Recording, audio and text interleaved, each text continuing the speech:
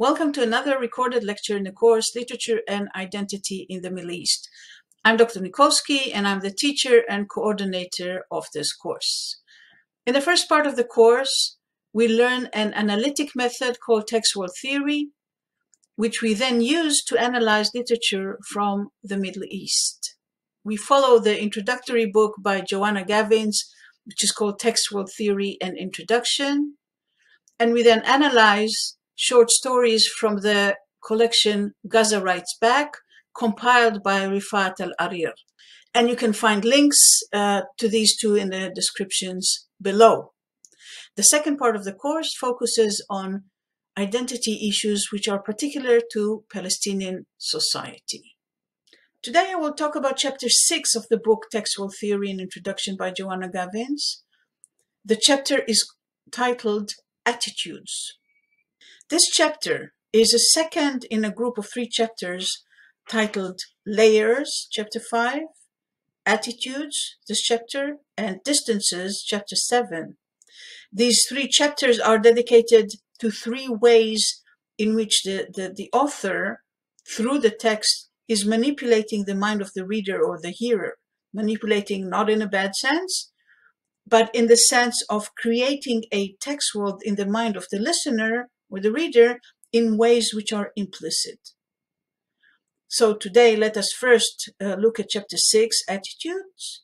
Then, as usual, we will analyze stories from Gaza Writes Back, and we will end with your assignment for this week. على دلعونا وعلى دلعونا راحوا الحبايب ما ودعونا على دلعونا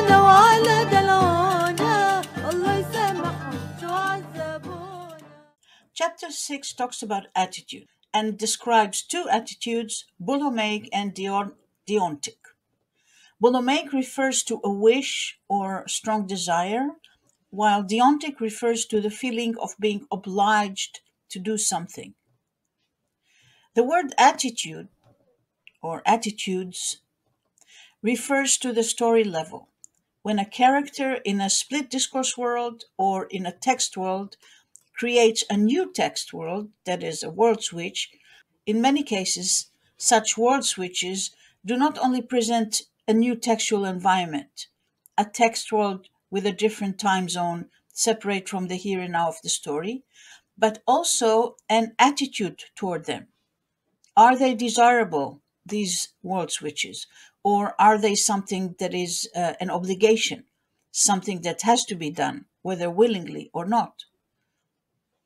There are ways to create these attitudes in the text world, and these words are called modal verbs. So let us first look at uh, what modal verbs are.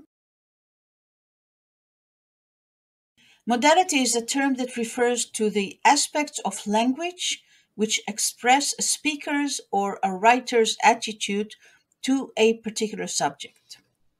Aspects of language, that is, we are talking here about a linguistic technique to achieve an attitude. In non linguistic manner, an attitude can be expressed using um, face, facial expressions, for example, or with a certain music which appears with a scene in a movie, etc. But since literature is done with language, with a text, so we are looking for a ling- linguistic technique, and modality is one of them. Modal expressions in language convey the idea that something is desirable, possible, permissible, etc. This can be done with uh, certain verbs, such as she wants a house on the beach, for example. It can be expressed with adverbs. They went there happily. Modality can also be expressed using uh, auxiliary verbs, which is something you all know from your grammar lessons. Auxiliary verbs are verbs that change the attitude to the main verb. For example, when we, uh, it can convey the idea of ability, then you use the verbs can or could. I can speak English, as you see here uh, in this table. That means we are the, the actual verb is speaking, but um, what we are conveying is not the speaking itself, but an attitude toward the speaking. We can do it. Yeah, he could run ten kilometers. Now he has lost practice. So the, the actual verb is the running. We are talking about the running, but he, he used to be able to do this. Yeah, or in uh, in terms of permission, we can talk about can, could, or may. May I sit here? Yeah, so the, the, the general picture that we have in our mind is the picture of sitting, but we are not seated yet because we are not sure about the level of permission that we have regarding to this. So we can talk about may sit or may not sit. Yeah. If you want to convey the idea of advice, then we are using should. You should do your homework. You shouldn't drink alcohol. Uh, obli- obligation, this is the deontic that we will talk about later. You must, you have to. People mustn't smoke in class. Yeah, so they are not uh, um, permitted to smoke in class. We don't have to go to the party if we don't want to. Yeah, so it's not an obligation, so it's a negative obligation, so to speak. Yeah, so the going to the party is the main issue, but must or must not or have to or have don't have to is uh, creates the attitude with regard to going to the class. And this is the Dutch version, which you can see here. So auxiliary verbs, they facilitate the main verb by asserting a potential, an expectation, permission, ability, possibility, or obligation to the main verb. And so the important thing stays the main verb. If you think about it, also the future in English is expressed in a modulated way. Will. I will go. I will sit. I will eat. As it facilitates the action which did not take place yet, even though there is an intention to do it. And this intention is the attitude toward it. So as you can see here, here are some words that, that would express a Boulomaic model uh, world or Boulomaic text world. And with the word Boulomaic, we mean something that is um, desired, that's something that is uh, wanted. If you think of the word bulimia, yeah, this is coming from uh, the same root as uh, Boulomaic, uh, something that um, um, there's a drive uh, to do it. So Boulomaic uh, modality is when something is hoped, desired in a positive way, or feared or regretted in a negative way. So a negative Boulomaic uh, desire is uh, is fear or a negative feeling. And here are some words that uh, can be used for this uh, to express this. For example, the word hope. I hope that you will leave. Yeah, I want very much that you will leave.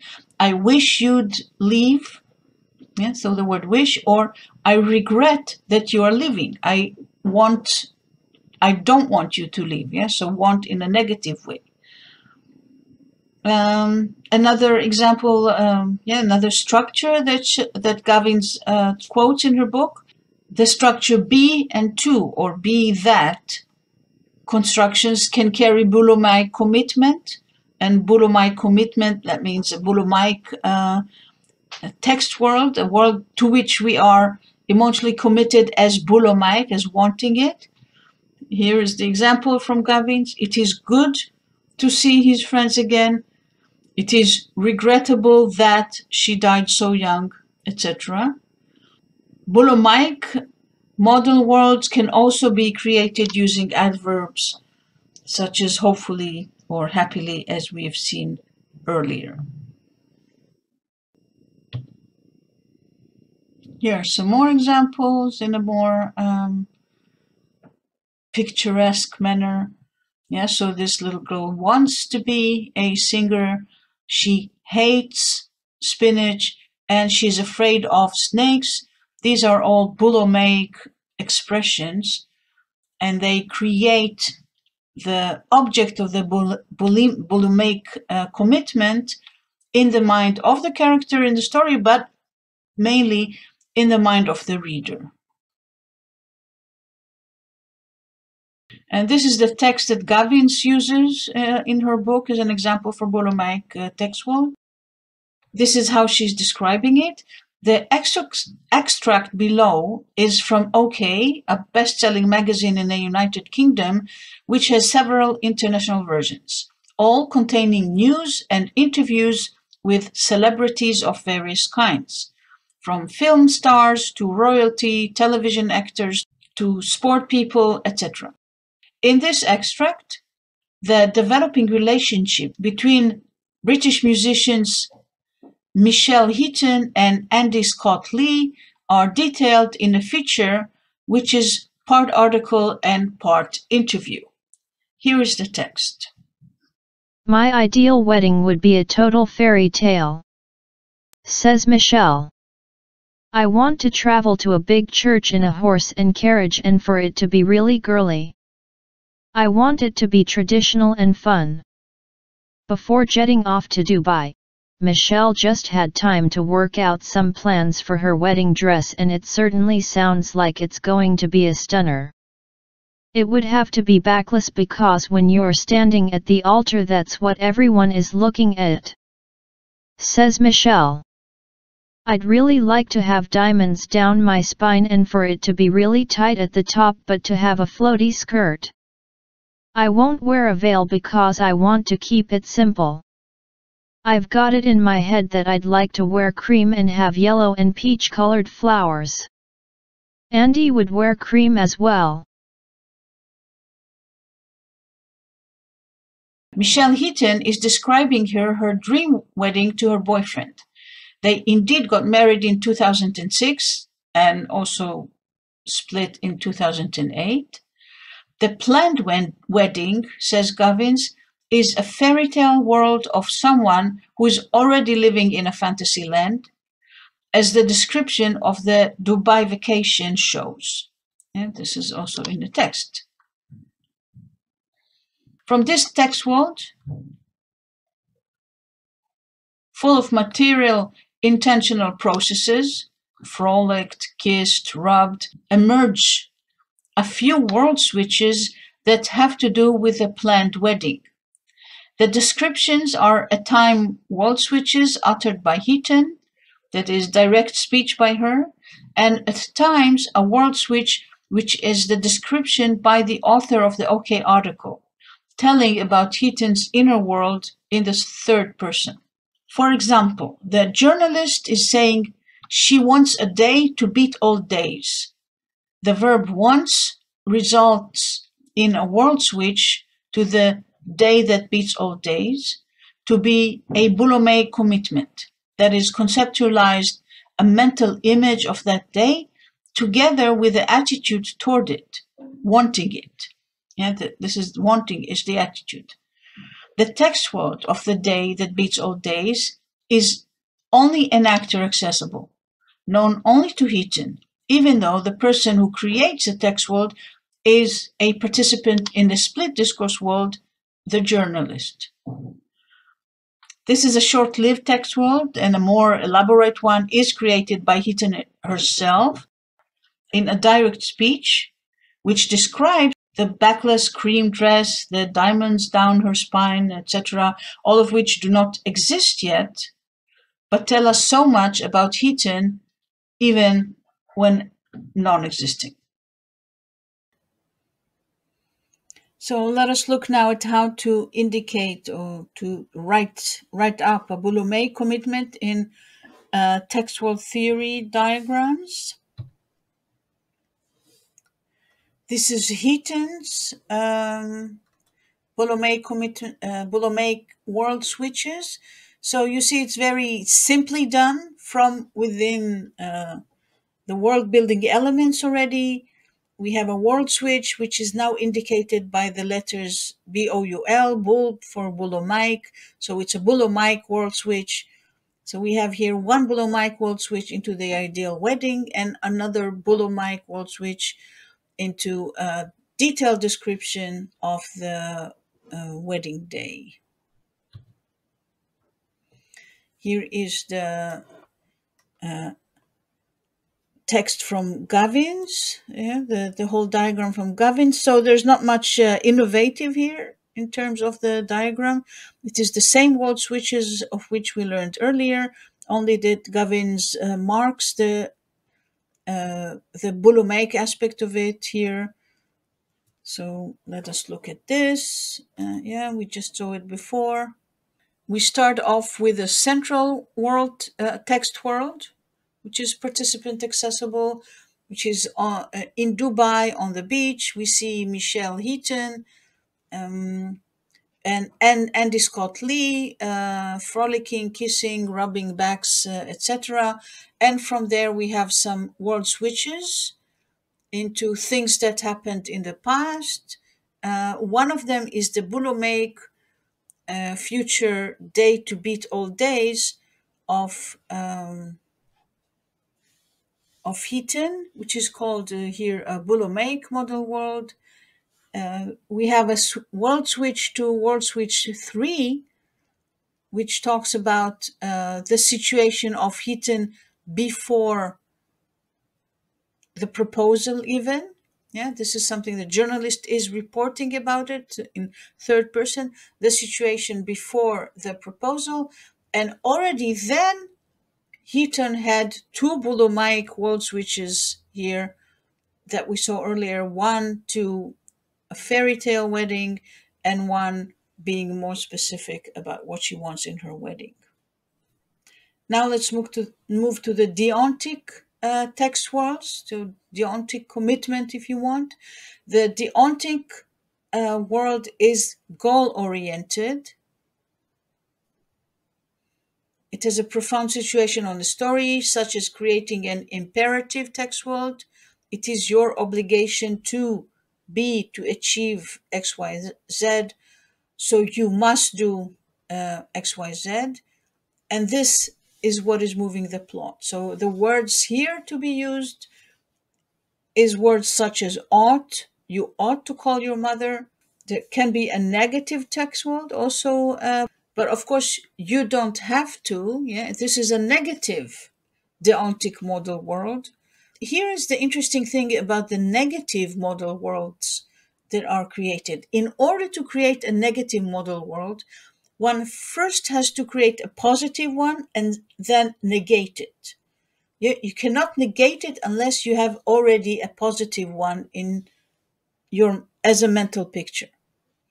Right? This is a very important issue to be uh, to understand about negative worlds, which is text words, etc. So there are always positive text words that are being negated. Uh, also here, the form of uh, to be and to, it is forbidden to feed the animals. It, it was, yes, to be, it was required that they inform the authorities, etc. And let us look at some of the pictures here. Let me move myself away from there.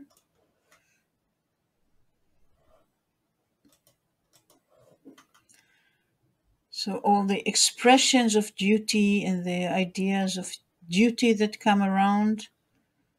Um, you should be this when you grow up, uh, as opposed to the singer that this little girl wanted to be. You must eat the spinach, even though you don't like it. Um, and do not talk to strangers, um, as we know that bad consequences can come out of it. So the deontic model worlds are usually pick, uh, forming a picture of something that is um, is heavy. Yeah, it's is not driven by fun, but uh, driven by obligation. But even so, obligation is not always something that's uh, sad, as in this picture, like the example that uh, Gavins uh, is using. This is from the book How to Keep Your Volkswagen Alive Step by Step Procedure for a Complete Idiot. This is the text Gavins uses as an example of deontic text world. Uh, it comes from a book by John Muir from 1997. We will not dwell on it for too long, but here is the text. starting not at the beginning that you see here. First, in the Volkswagen, you have to shift, and that requires a degree of coordination between your left foot, clutch, and your right foot, accelerator, that only practice will develop. There are four gears forward and you have to use them all, all the time. No shortcuts like starting in second and skipping third. You must use all four gears. Second, you must get used to shifting on hills and the gradual progress that a Voxy bus makes in the mountains means one thing, start earlier. Third, don't over-rev the engine. Later models have governors that prevent over-revving on the high side but don't help when going down a steep hill and third. To make the engine run too fast, over-rev, at any time means stretching the engine past its ability to return to the same shape, real trouble. There are speeds you shall not exceed in each gear. Learn them and stick to them and love it. Fourth, never lug the engine. You must shift down on that hill or in town to keep the engine RPM about 2000 or you will soon pay for your perfidy with a new engine. The obligations of a Volkswagen's owner are expressed by deontic modality, which express duty. Let us look uh, straight away at the text world uh, diagram of it you see that like the Boulomaic uh, world, the deontic world switches have the letters on them, DEO. What is designated here with a dotted lines are negative deontic worlds. Yeah, so we talked about the negative world switches. So here you see them on the left and in a few places. Uh, we should stop and focus on the negative text world for a minute. Yeah, so we did talk about it, saying that in order to create a negative text world, a negative world switch, we first have to create a positive one and then negate it. All right, so here in the middle, you see the main text world of, uh, of the discourse, the split discourse, and you have a few deontic text worlds being created, some negative and some positive. So if we look at the top left deontic world, which is a negative one, and we follow where it uh, takes us. So it says you should not over rev the engine. Yeah, so it's an obligation, you should, but it's a negative one. You should not over rev the engine. Or just under it, you should not lug the engine. Or under this, you should not drive with ex exceeded speed. Yeah, so and from there we have a world switch to which is an imperative. You should learn how to use the stick and you should love this. Yeah, if we go back to the uh, main text world, the middle, we see also positive deontic world switches. So the top one there on the right you should use the shift, yeah, the shift gear when you uh, when you are driving your Volkswagen, or under it, you should use all gears. Yeah, and then then there is an imperative world switch. It's a negative one, we know because it's a dotted line. You should not start in the second gear or skip to the third, etc. Yeah, so again, the, there's no, no great innovations, only that the word switches are designated by the, uh, the letters DEO to, to tell us that it's a deontic world switch.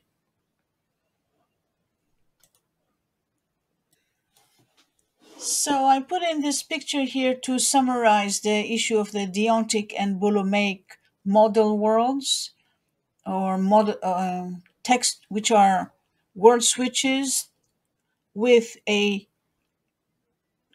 Boulomaic or deontic uh, commitment, with an attitude which is Boulomaic or deontic.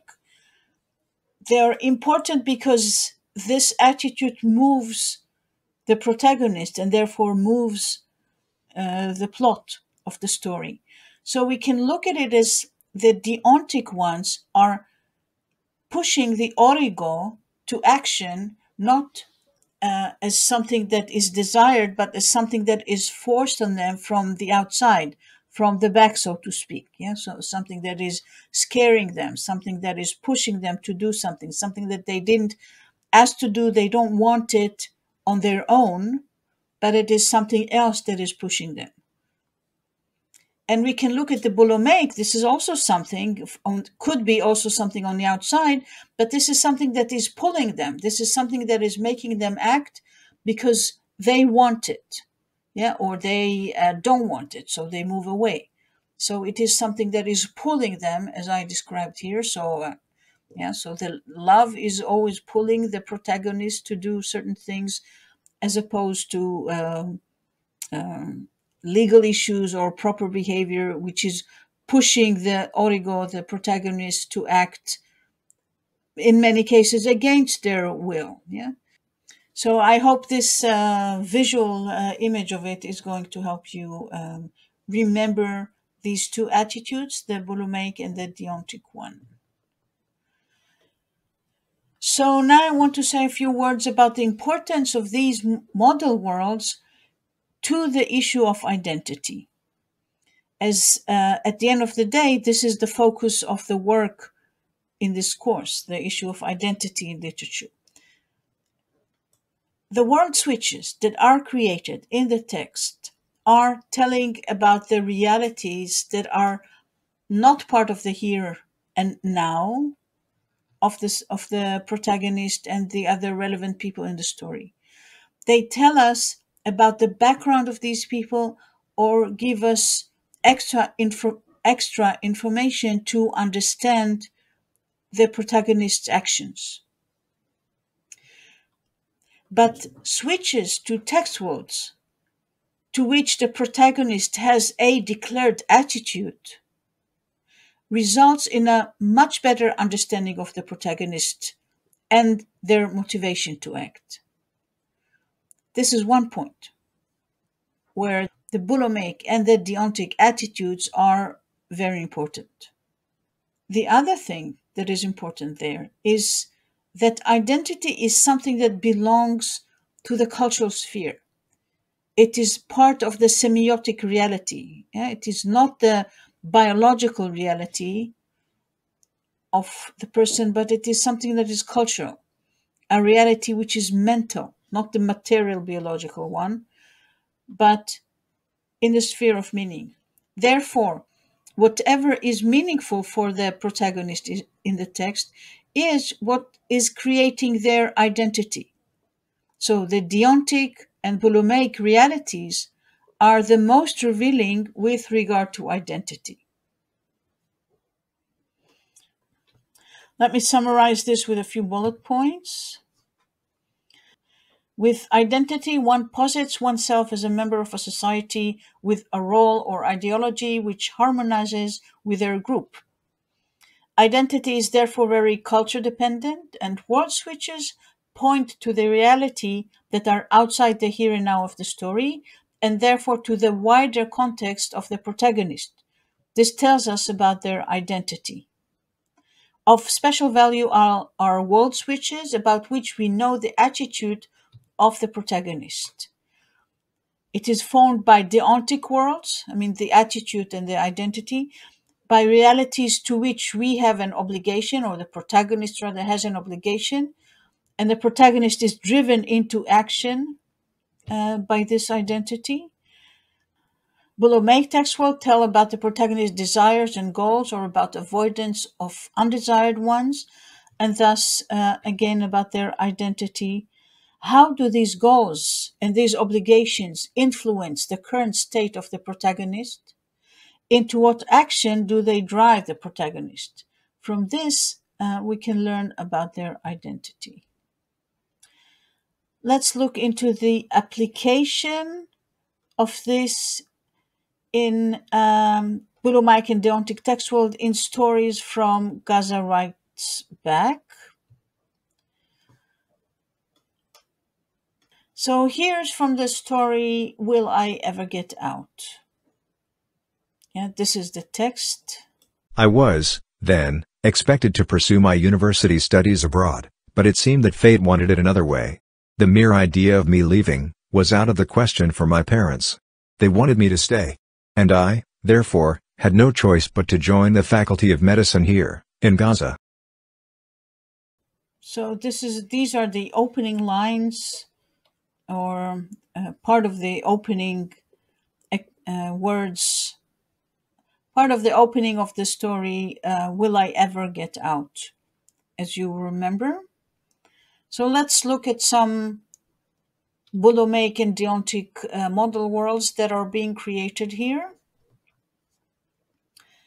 Let's start with the I on the left. So I was expected to pursue university studies abroad.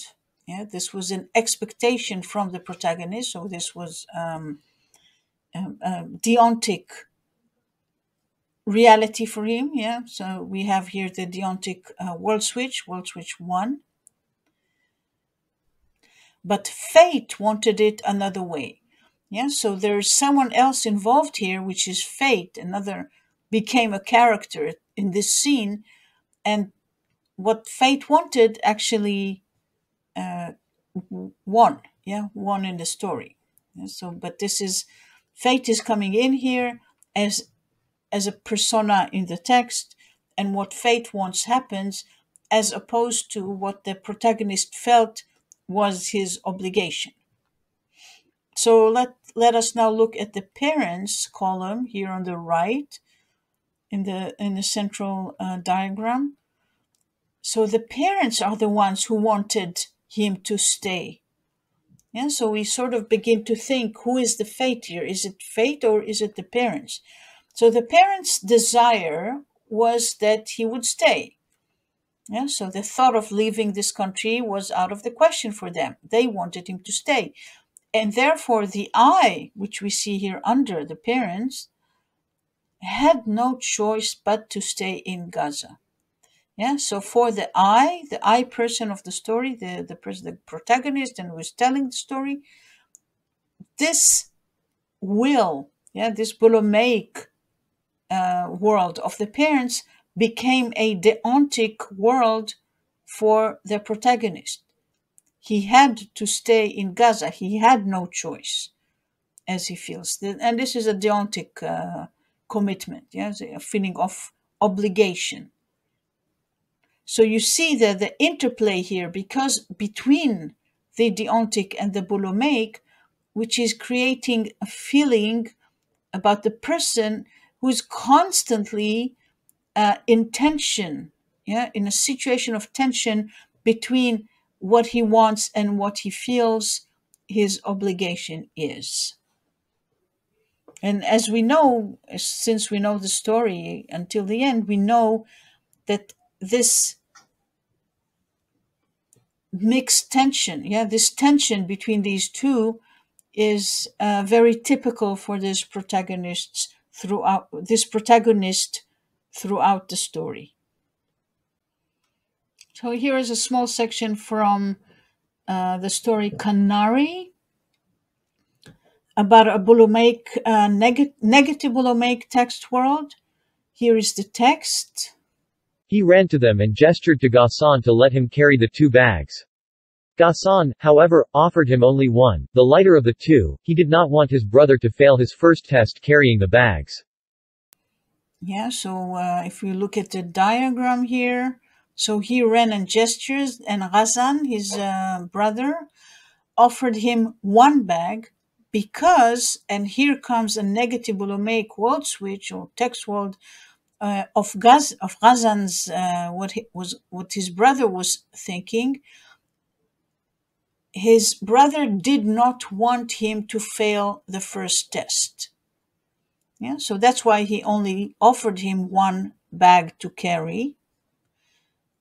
So look at this is a very very small section of the story. Yeah, so a little gesture that the brother did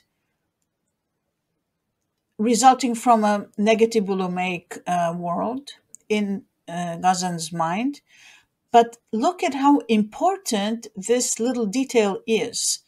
Yeah, the fact that his brother was pre-thinking a possible problem and solved it already. Yeah, because the brother, who is a person in the mind of the protagonist in the story. So this person in the mind of a person in the text had a thought that he didn't want to happen resulted with such an emotional impact on the protagonist and on us, which in a way explains almost all the behavior of the protagonist, which was quite uh, dramatic. Yeah, the, the suicide bombing is a dramatic dramatic act. So look how important this point in the story is, and therefore it is really important to know how to describe it properly. The new story this week is Bundles by Mohammed Suleiman, a Gaza based writer and human rights uh, worker. He obtained a master, master's degree in uh, human rights from the London School of Economics. He also participated in the anthology Gaz- Gaza Writes Back with three stories. Another story of his uh, will be the focus of your assignment this week. You can read more about him in the book Gaza Writes Back, which uh, where you can find uh, which you can find on Nestor. At the back, there's some information about the various authors.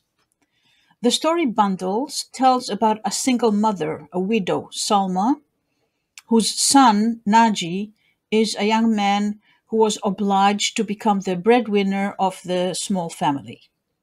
He worked as a smuggler in the tunnels of Gaza. And this only provided a very meager income. He was offered a more dangerous smuggling job. Uh, we never learned what was uh, what was involved there, but was caught and put in jail inside Israel. The story begins three years after he was jailed and not yet trialed, and his mother is going to visit him. From this story time, the mother's journey to visit his son, we learn through world switches about the past events, the father's death, and the son's having to go to work and um, joining this uh, more dangerous work. We also learn about the mother's love for her son, and her wish that he will not engage in this dangerous work. In the end, even what we thought was the present tense of the story ends up being past, past tense, as we are now three years after the time of this visit, and it is there that we re-perceive the time of the story as a world switch into the past. And we also learned that the mother never got to see her son. We don't know exactly why. Perhaps it is because Salma could not bring herself to go through the cavity check before entering the prison. By now, she receives the news that Naji is dead. The Boulomaic worlds in the story are mostly of the mother wanting to see her son and to keep him with her.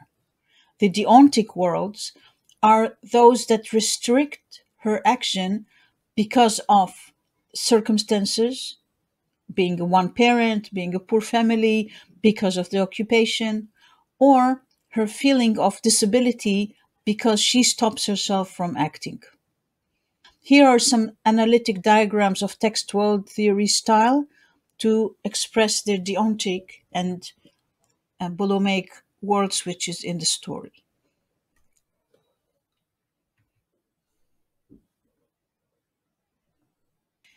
Here are the opening lines of the story. At daybreak, Salma, a plump, brunette woman in her early 40s, was wrapping some bundles of Naji's favorite food and cigarettes. When she finished packing everything into a bundle, she dressed up and prepared herself as well. And this is what you have on the slide. Confusing feelings occupied her. She didn't know whether she should be in high spirits, as she was, or dejected, as she intermittently felt. So let us look at the table now. Uh, the text world one, the initial text world of the story, usually just mentioned as text world, not even numbered. We are at the daybreak, at home probably, and uh, we hear about bundles, Naji's favorite food and cigarettes as objects, and the enactors are Naji probably, even though we don't know about him, he's not doing anything, and Salma, with whom we, we have relational processes of being plump, brunette, and early 40s, and she is uh, material processing, packing bundles. And then uh, when she's finished packing, now the story begins. She's uh, dressed up, she prepared herself, she occupied by confusing feelings. And about those, we have two world switches. One is a deontic one into world switch one, yeah, deontic text world one. Salma should be in high spirit. Yeah, she feels that perhaps she should be in high spirit. And the second deontic world switch, second deontic text world, is that Salma should be dejected, yeah, depressed. And she feels about both as obligations, and she doesn't even know which one she should do, which one is really the obligation. Yeah, this is a um, very interesting situation. These are two very simple deontic world switches to a situation in which Salma should be. So we hear that at the moment she is overall high spirited but intermittently dejected. She doesn't know whether this is what she should be. That is, she feels uneasy in the here and now with regard to her feelings because she doesn't know whether this is what she should be feeling. This is the height of being weak, yeah, being unagented, being unable herself to, to tell what she should be feeling. Yeah? This inability of self expression will be the characteristic of Salma throughout the story. Sometimes because of a real lack of knowledge, sometimes because of her personal lack of agency. So here, uh, Mohammed Suleiman is being, beside many other things, a critique of Palestinian society to some extent.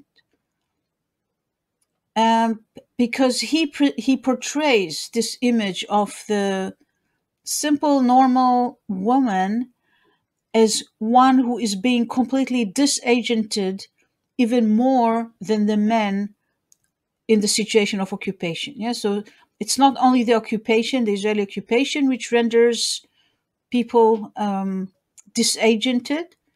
In her case, it's also being a woman in a world of men, of Muslim, uh, of the Palestinian society, which renders her so unable to make the simplest decision, even about what she feels. You will see this uh, slight criticism of, of, Palestinian society also in the story uh, We Shall Return, which will be for your assignment. Our rare place where uh, Salma allows herself to be strong, that is, demanding, is in her relationship with her son. Here she is telling him what to do. She is presenting the deontic reality to him. Just before he sets out for the new job, Salma felt that uh, Naji was disturbed by something, but he was not uh, telling her about it. So she says, Don't lie to me. She snapped at him. You've been acting strange since you came home. What happened? Just let me know. And indeed, he does not lie to her and tells her about the new job he was asked to do and that he uh, knows that it is dangerous. Salma's character is showing now. It is dangerous, I know, said Naji. His mother kept silent. I'll make 4,000 shekels for a two day job. I can use the money to start a small enterprise. I can be free. When she's not stopping him from going, as it says in the story, it's dangerous, I know, said Naji. His mother kept silent. Let's look at the table here. So uh, world building elements, the time is uh, during breakfast, the location is at home, the objects are tea, sage in the tea, and the enactor enactors are Naji, who is drinking the tea in silence, and Salma. And Salma eventually snapping at Naji, and then Naji is telling about what happened in work. So Naji, when he's telling about what happened in work, he is making a world switch into text world 2, as we see here, uh, where he tells about Abu Sham, his boss, who was asking him to do a dangerous job. So this is one. And then he's making another world switch, a Boulomaic uh, one now, in which he's telling that he wants to do this job even though it is dangerous. Yeah, so this is text world three here, which is Boulomaic, where Naji is uh, will be making four thousand shekels in two days, and he will start a business and he will be free. All these are world switches of Naji, what he imagines he can do if he if he takes this uh, dangerous job. Yeah, so here his mother kept silent, and by this she, in a way, allowed him to do what he wants, but she was suppressing saying what she wanted. Yeah, and this suppression is typical to her character. And as uh, I said, is is sort of uh, criticism on the status of women in Palestinian society made by Mohammed Suleiman.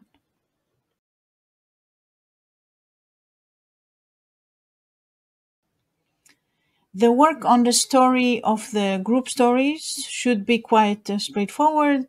Try looking for deontic and Boulomaic expressions and checking how these are initiating the protagonist's identity, possibly uh, by being a big motivation behind their actions.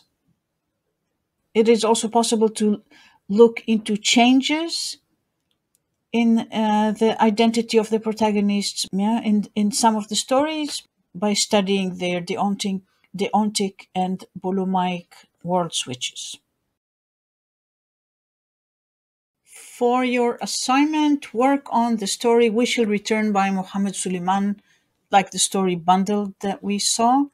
The story We Shall Return depicts Palestinian refugees after the Nakba their uh, journey into the unknown. Yeah, they, these are um, a few families, some some men with their wives and children that are uh, walking all day long, and then in the evening, the three men are sitting and uh, having a conversation. And most of the story is about what is happening in this conversation. So um, the relationships between them, and uh, their attitude toward what has happened to them. So these are the, the, the issues that come up. So um, work on this one. Look for deontic and Boulomaic world switches in the story, one of each, and explain how this is motivating the protagonists and assess in what direction does this motivation move the plot or message of the story. Submit your assignment in the assignment link found below this lecture. That's it for this uh, week. Thank you for listening and see you next time.